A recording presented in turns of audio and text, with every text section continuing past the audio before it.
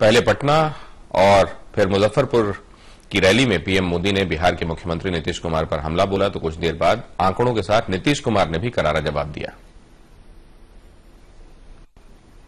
मेरे बिहार के भाइयों बहनों, वो दिन अब दूर नहीं है जब मैं पटना तक शुरुआत करूँगा और सैकड़ों किलोमीटर लंबी गैस की पाइपलाइन लगा करके पटना में घरों में गैस देना प्रारंभ कर दूँगा और आगे आगे बिहार के और स्थानों पर भी गैस जाएगा। रसोई घर में, रसोई घर में टैप चालू करते ही गैस आएगा। अब गैस का सिलेंडर लेने के लिए भटकना नहीं पड़ेगा, किसी दलाल को पैसा नहीं देना पड़ेगा। यह काम हम करते हैं जी। यानी जो पहले के एग्रीमेंट के मुताबिक जो योजना है, उस पर काम शुरू होने वाला है। उसी का आज शिलान्यास था। अगर उसके आगे भी बताते कि 2013 में जो लिया गया निर्णय है उससे आगे बढ़कर कुछ करते तो बड़ी खुशी होती। मैंने यही बात कही थी तो इस पर भी उन्होंने आ, कुछ नहीं किया। बिजली नहीं दूँगा तो वोट नहीं मांगूँगा। कहा था? कहा था भाई? उन्होंने कहा था?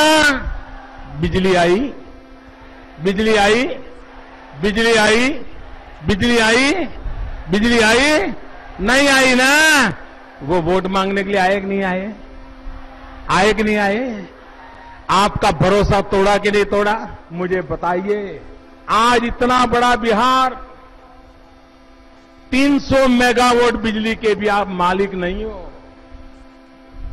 जबकि आपको 5000 मेगावाट बिजली की ज़रूरत है। ये सरकारों ने सिर्फ़ 300 मेगावाट बिजली बनाई है। बाकी बिजली बना पाएँगे क्या? मैं वादा करता हूँ, मेरा अनुभव है, मैंने करके दिखाया है। मैं बिहार में 24 घंटे घरों में बिजली देने का वादा करने के लिए आया हूँ। रहे थे तो कोई रिस्पांस उनको नहीं मिल रहा था। क्योंकि लोग महसूस कर रहे हैं कि बिजली की स्थिति में सुधार आया आप भूटान की बात कर रहे हैं। लेकिन राज्य का जो अपना उत्पादन होना है, जो एजेंसी है भेल, वहाँ से कई साल पहले उसको बन जाना चाहिए था, वो अब तक पेंडिंग है उसके जीर्णोद्धार का काम। 110 मेगावाट की दो इकाई का। तो इस पर भी उन्होंने कुछ नहीं किया। तो मैं तो सबसे पहले चाहूँगा कि इसके अलावे मेरी घोषणा क्या है, वो बताएँ।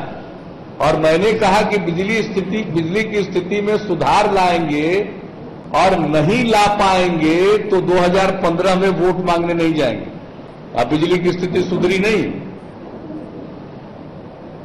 बिजली की स्थिति सुधरी, इसका तो सबसे बड़ा फ़ायदा माननीय मोदी जी को ही हुआ है। बीस हज़ार गाँव में बिजली पहुँच गई, लोग टेलीविज़न देखने लगे और टेलीविज़न पर जो धुआंधार प्रचार चलता था, अब की बार मोदी सरकार तो छोटा छोटा बच्चा भी देख करके मम्मी मम्मी, अब की बार मोदी सरकार। तो इसका फ़ायदा तो उनको मिला। हमने एक महत्वपूर्ण फैसला किया। और वो 14 फाइनेंस कमीशन, जिसके कारण आने वाले दिनों में बिहार को अगर पाँच साल का फाइनेंस कमीशन का मैं देखूँ तो बिहार को 2000 से 15 से 2020 के दरमियान फाइनेंस कमीशन के द्वारा करीब करीब पौने चार लाख करोड़ रुपया मिलने वाले हैं। भारतीय जनता पार्टी के लोग रुपये के टर्म में बता रहे हैं कि पहले मिल रहा था डेढ़ लाख करोड़ और अब पाँच साल में देंगे पौने चार लाख करोड़। ये उन्होंने कहा। अब हम उनसे पूछना चाहते हैं कि कुल कितने पैसे थे टैक्स के तेरहवें वित्त आयोग के पास? जो उनकी सिफारिश आई उसके आलोक में, और उसमें से एक लाख पचास हज़ार करोड़ बिहार को मिला। हम कह रहे हैं कि पाँच साल में आनुपातिक दृष्टिकोण से घाटा होगा, वो कह रहे हैं कि हम इतना पैसा बढ़ा दें अरे पैसा कोई बिहार का बढ़ा दिए खाली। पूरे देश का पैसा बढ़ गया तो उसका हिस्सा बढ़ेगा ही। और यह सब दिन होता है, जब टैक्स रिसीट बढ़ता है। तो हर प्रकार के मॉडल आप देख चुके हो। एक बार हमें भी अजमा करके देख लीजिए। एक बार हमारे इस एनडीए के साथियों को बिहार की जनता की सेवा करने का अवसर दीजिए। मौका तो दे ही दिया 2014 फिर दोबारा क्या सेवा करने का मौका मांग रहे हैं? देश की जनता ने उनको प्रधानमंत्री बना दिया। बिहार के लोगों ने 40 में से 31 सीट देकर उनको प्रधानमंत्री बना दिया देश की सेवा करने के लिए। अब चुनाव आया है, तभी याद आ रहा है बिहार। तो सेवा करने का मौका तो उनको मिल ही गया। अब तो ये विधानसभा का चुनाव हो रहा। तो विधानसभा के चुनाव में फिर वो सेवा करने का मौका मांग रहे हैं। तो पीएम रहते हुए क्या मुख्यमंत्री का एडिशनल चार्ज ग्रहण करेंगे क्या? मैंने देश के प्रधानमंत्री रहते हुए बिहार के मुख्यमंत्री का अतिरिक्त प्रभार मांग रहे हैं। क्या? सेवा करने का मौका दीजिए। अरे, अतिरिक्त प्रभार की गुंजाइश रहती तो गुजरात का नहीं हो जाता। इन भाइयों बहनों, इन्होंने जो लोकतंत्र सीखा है, इन्होंने जो लोकतंत्र चलाया है, जिसमें जॉर्ज फर्नांडिस का क्या हुआ? इसी धरती से जुड़े थे जॉर्ज फर्नाडिस। इनके साथ क्या किया गया? सुशील मोदी जो कंधे से कंधा मिलाकर के दौड़ते थे, उनके साथ क्या किया?